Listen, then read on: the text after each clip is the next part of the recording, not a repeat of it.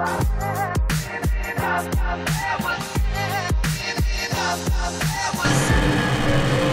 guys, this is Nova One Winged Angel here, and right now I have the next boss battle for you guys, and I'm doing Red Dragon, and um, pretty much for this battle you want to do Elemental and Fire to uh, minimize damage for your armor, and you also want to equip um, the Red Ring, but, or the Fire Ring, I mean, sorry about that, but I'm not going to do that, I'm just going to go Guns Blazing like I always do, because I'm cool like that.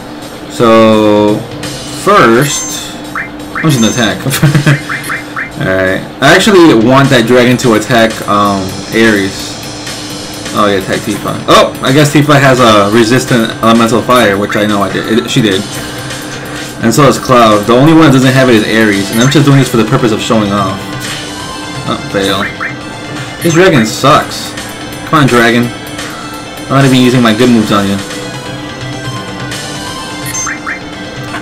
There you go.